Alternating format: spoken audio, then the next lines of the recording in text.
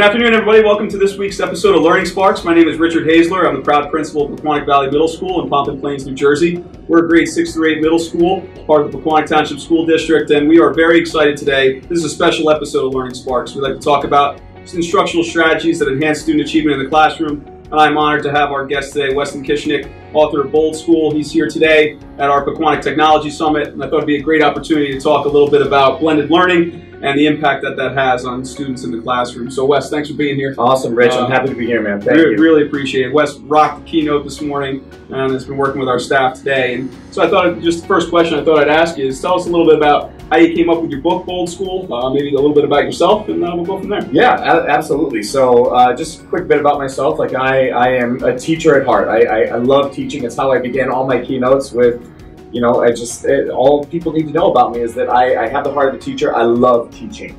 And so uh, the genesis for writing Bold School was just really simple. So Bold School is just a mashup of the words blended and old because uh, when I started to look at blended learning, both from uh, my side as a, as a practitioner at the time, and then through uh, the leadership perspective, and then just through the, the, the lens of a learner, uh, what I started to notice is that uh, this this view of blended learning was starting to develop. That that blended learning is just exclusively, you know, station rotation or flip learning or flex models, and I was just like, man, there's uh, it, those those models are great, they're wonderful, but I was concerned because there just didn't seem to be much room for that traditional practice that we know works with kids. Mhm. Uh, not that, that we love just because like oh it's something we've always done and we love it and we don't want to deviate, but we love it because we know it works with kids. And uh, you know I tell the story of uh, the uh, the guy I did my student teaching with who was uh, an absolute master teacher, Kirk Datto, and I'm just I think about him all the time and I thought about him a lot as I was writing the book. Um, because I worried that in, in the pursuit of innovation, we would have pushed out really great teachers like him, really great, you know, quote unquote old school teachers who have these great methodologies and do these amazing things that work with children. Right. And so I wanted to say, like, hey, if you are the direct instruction master of the universe, or if you are the Socratic seminar master of the universe, or if you love concept mapping, like, where do opportunities for blended learning live in those spaces? And, and the answer is they do live there. There are abundant opportunities to still, you know, hold on to those practices that we know work and blend with purpose in a way that works for both kids and for teachers. Because I mean, the, the number one fear that a lot of teachers have around blended learning is that the arrival of technology represents the departure of everything they love about teaching and learning. And I just, I didn't want that to be the case. I didn't want teachers to feel like their practice was broken, like they were broken. They are the number one thing, thing that has always worked about teaching, uh, and, and they still work. And we have to make sure that great tools serve great teachers, not that we arrive at this place where great teachers are supporting these great tools. One of the things you said today, and I got a round of applause from our staff, is that education is not broken. No. and and that there is a place for every kind of teacher. You know, it, we talked a little bit earlier about the difference that we're seeing now in new teachers and, and what we see in veteran staff. So, now, what advice would you give to a to a veteran teacher now who has all this technology and you know is, is getting thrown a million different gadgets and apps and all these things? What advice would you give to a veteran teacher today? Yeah, so I, I I think every veteran teacher out there, every teacher in general, should be able to identify like what is the thing you're awesome at, Mhm. right? What is the thing that you are great at? Uh, because when I when I do professional development or I do instructional coaching with teachers, like I, I'm I'm a huge advocate of coaching to strengths. It's the thing that we do in every other coaching field, right? Like uh, so I, I told you earlier, like I still coach high school football. I love it. We've got this kid right now who's, you know, 5'8", 5'9", runs a legit 4'4", 4'5", 40. He is super fast. Right. I'm not going to take that kid and make him an offensive lineman. I'm just, it doesn't make sense. It Right. doesn't suit his skill set. I'm going to take him and put him in a position to be successful based on where his skills live. And the same should be true for teachers. So for a veteran teacher, I would say, what is the thing you're awesome at? Like, uh, uh, again, do you love interactive video? Right? Do you, uh, you know, do you love close reading? Like, figure out the thing that you are awesome at, that you are great at, and figure out ways that you can use technology to make you more effective and more efficient at that thing. Mhm. Grow your strength, grow your grow your blended competency in the place where you are already strong pedagogically, and then figure out places where you can grow as a pedagogue while adding technology to grow those competencies as well. Like that's that's how we grow overall proficiency, not just like all right, let me throw a dart at a strategy and throw a dart at a tool and figure out how to mash these together. And now I have to learn both at the same time. Yeah. No, I, we did a book study with my staff la- uh, last year, one of the things they latched onto was the lecture piece. You know, because Yeah. they're they're being told now that lecture is not a great strategy to use. You got to have students engaged in learning. It can't just be all about you. But uh, what I liked about in your book is that you talked about how lecture is such a powerful tool when used effectively in the classroom. So if you could just talk a little bit about that. Yeah, Um, lecture lecture is a super powerful tool, and and lecture as a part of direct instruction. And we got to be careful not to use those interchangeably, right? So direct instruction includes lecturing and feedback and questioning. Like all of those things are part of direct instruction. But lecturing is not is not bad. Right. Uh, but but as educators, we have to come to consensus. Like uh, lecturing and direct instruction didn't get a bad reputation because it's a bad strategy. It got a bad reputation when it became our only strategy, and that's on us. Yep. That's on us. That's where we have to grow as educators. But that doesn't mean we throw the baby out with the bathwater and we just say like, oh, you know, direct instruction, bad. No. If we look at John Hattie's work, direct instruction has an effect size of around six tenths, which means kid, kids can potentially grow a year and a half over a single academic year's worth of time. Direct instruction needs to still be a part of what we do and what happens in our classroom. It works. It's effective. Our challenge is how do we support a strategy like direct instruction once we've identified that it works with a, a, a digital tool like Kahoot, right? Let's not play Kahoot for Kahoot's sake, Sure. right? Let's not do a poll everywhere for poll everywhere's sake. Let's not use Mentimeter for poll everywhere's sake. But how can we integrate these tools into a moment of direct instruction so that they can provide us feedback and we can provide direct instruction uh, in, in chunks where we're teaching kids uh, based on the feedback they give us in the moment. We're providing direct instructions of, uh, relative to places where they have gaps. And relative to places where they're telling us they already know this, we can shorten our direct instruction and move on to the next thing. And that's so huge because you're talking about a lot of things there. You're talking about engagement, you're talking about feedback, you're talking about analyzing a student's growth, their gaps, where they may need to be. When you're talking about you know learning sparks in the classroom, getting kids engaged in what they're doing, it is our responsibility to find those issues where students may be weak and capitalize on them, and that's where the tools can become very effective. Yeah, and you can use those tools in such a way where doing all of those things doesn't have to be a nightmare for the Mhm. teacher. Because when you're talking about creating learning sparks in the classroom, like spark, like sparks come from fire, right? And you cannot have a fire in your belly about teaching if you're so concerned that creating all of these teaching and learning moments are just going to absolutely grind you down to the nub Mhm. and then you're going to have no energy and or enthusiasm to implement any of these like Right. it's it's again one of the reasons why I wrote Bold Schools because I wanted to create blended learning scenarios that worked both for kids and for teachers. And the fact of the matter is, you know, for better or for worse, like they, it has to work for, for all stakeholders Sure. in order for it to continue. Because there's not a single initiative that I know of, not one, that can thrive in a culture of negativity.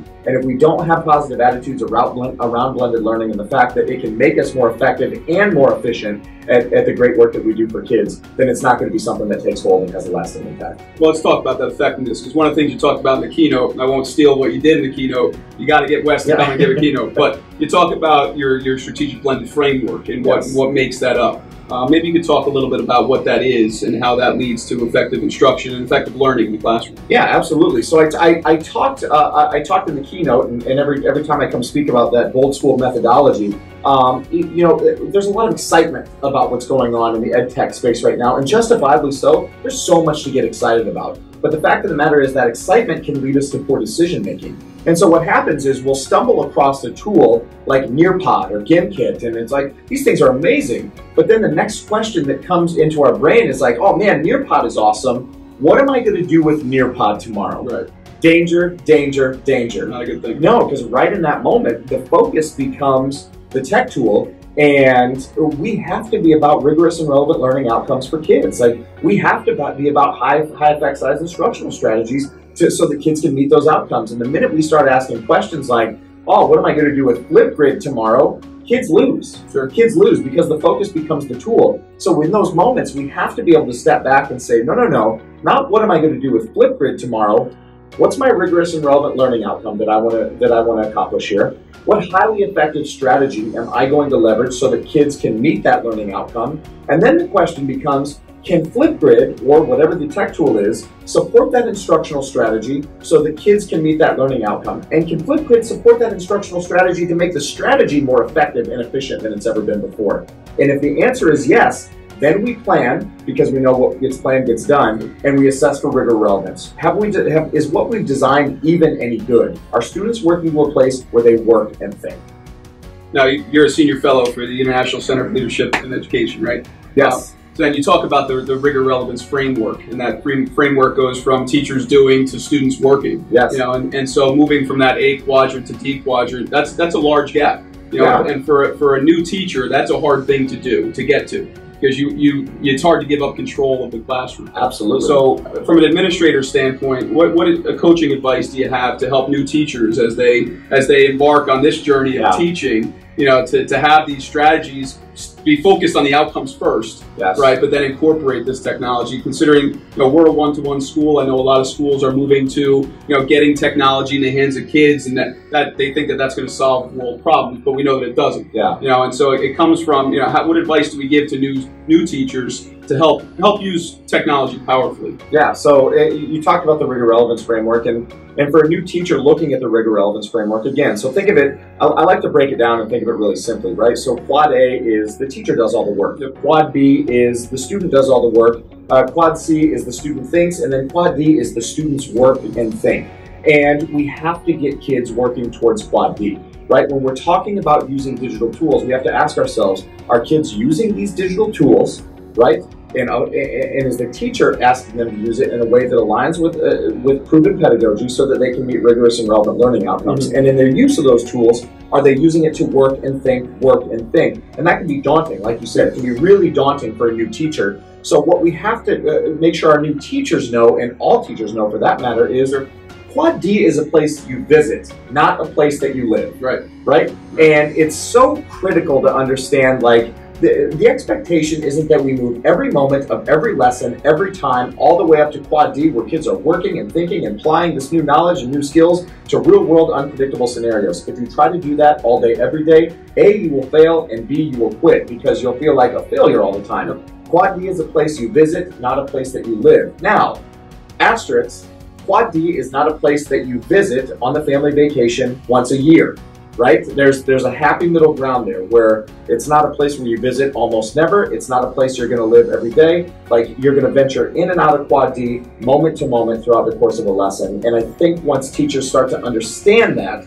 about the rigor relevance framework, it kind of uh, uh, alleviates the, the stress and anxiety that comes with it. And correct me if I'm wrong. In that in that C and D area, that's where you can really build in the grit and the growth mindset with kids. You know, and teach them that failure is okay. You know, Absolutely. that they can get after it. It may not work the first time. It may not work the second time, but it may work the third or fourth time. A- And it's that perseverance and, and reflection that we want the students doing when they learn. That, that's absolutely true. There's value in each of those quadrants. Yep. There's, I mean, there's going to have to be time. Whereas the teachers, we're living in quad A. Mm-hmm. Whereas the teacher, I got to do some work. I got to do some of the heavy lifting because I possess a skill set or a content knowledge that my kids don't have, and I need to give it to them. And the only way for me to do that is to put in some work. So yeah, absolutely. There's stressing and understanding that there's value in each one of those quadrants, and it's not like you know quads A, B, and C uh, are four-letter words. They're not. Yeah. Now, one of the things that I loved about your book is how you use data. You know, and data is a, a scary word for, for, Sure. educators in general, but you know, you use John Hattie's work for a lot of your I book. love John. you know, work. visible Yeah. learning is, is fantastic. So, what, when, when you were talking about that and thinking about it as you wrote your book and you, you looked at different strategies, what was a teaching strategy that really stood out to you, aside from the direct instruction which we talked about? What was one that you really said, wow, I, I never realized the impact that this really had on student learning? And maybe, you know, that, that um, effect size is very high. Yeah, so a couple, couple of things there. I love John Hattie's work. I'm a huge John Hattie fan. He was nice enough to come out and endorse the book, which I was uh, over the moon about. And you talk about data, right? And I, I always refer back to that Doug Reeves quote, you know, we're drowning in data and starved for information. Yeah. And when you take a look at John Hattie's work, sometimes it, it's easy to feel that way. Sure. Because he's got so much data and it's easy to drown in it. And so what I wanted to do with John Hattie's work was really identify like, okay, he's got like 256 influences about what works and doesn't in education. And so I wanted to take a look and say, okay, from a practitioner's perspective, like what are the 10 or 11 most frequently used high yield strategies that teachers are using are using? And you know you asked me which which one of the ones i love so much uh, i love reciprocal teaching. I love reciprocal teaching for a couple of reasons. Uh, number one i think it's often misunderstood uh, a lot of teachers will, will tell me that reciprocal teaching is a strategy where students teach other students. Well, it's not. That's that's peer tutoring, right? Uh, I love reciprocal teaching. It's a close reading strategy. that uh, it, it, can be used any any time kids read anything, any grade level, any content area, which is what I love about reciprocal teaching. And so it, it's a simple four-step methodology where, and whereby anytime students read anything, they predict, they clarify, they question, and they summarize. They make predictions about what they're going to read. They clarify important vocabulary before they read the text right? They ask questions about the text, not the teacher, but they ask questions about the text, and then they provide they're provided opportunities to summarize. I love that methodology. It's a methodology that I've been using with my own children since they were babies, right? Anytime my kids would read a story, uh, we do story time at night.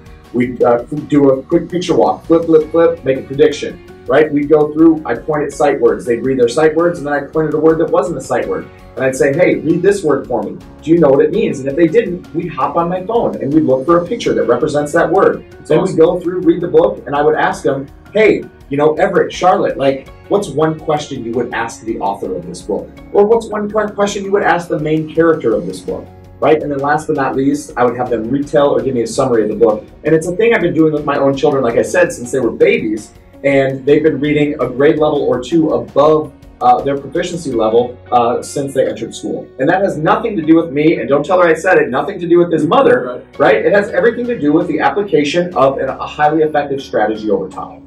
That uh, what you talked about that in, in, one of your workshops today, and one of the teachers walked out and they said, "Wow, you know, I never looked at reciprocal teaching that way, the way you just described it, and, and the impact that it can make on kids." And, and you know, so the takeaways from what you've done today with our staff you know, can, is, is going to make lasting impacts in the classroom. And, and, that's that's a testament to you and, and to your message. But, um, you know, we're in, in closing, we're going to finish up, you know, it, the Pequannock Summit, Tech Summit today, we had a series of workshops focused on, on ed technology. And one of the things that Wes really talked about is that it's not about the technology, it's about the outcomes and the strategies, you know, and, and then putting the plan in place. So, you know, what, what's the last piece of advice that you have for, for us here at the district or just teachers in general about the effective use of blended learning. Yeah, let's let's just get all let's all get on the same page.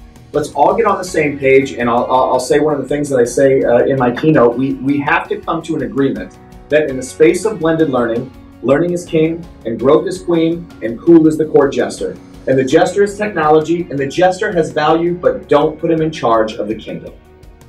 Well, I want to thank Wes. Thanks for being here today. Thanks for being at the at the Thank Tech you, Summit. Um, Wes does a bold school chat every other Sunday night on Twitter. Uh, highly recommend that you hop on there and, and, talk about student learning. We talk about a variety of different strategies. Uh, last week we talked about RTI. I think was one of the, uh, one of our topics. Yep. And uh, you know, Wes is, truly just a gifted educator. Uh, highly recommend that you bring him to to your schools and uh, do some PD for your staff. But Wes, thanks again for being here. You can Thank follow you, him on I think it's Wes underscore Kieschnick. Is it? There you go. Wes underscore Kieschnick on Twitter. You can follow me on Twitter, Average Hayzler. And uh, thanks again for joining us on this episode of Learning Sparks. And as I say at the end of every episode, always do what's best for kids. Have a great day, everybody.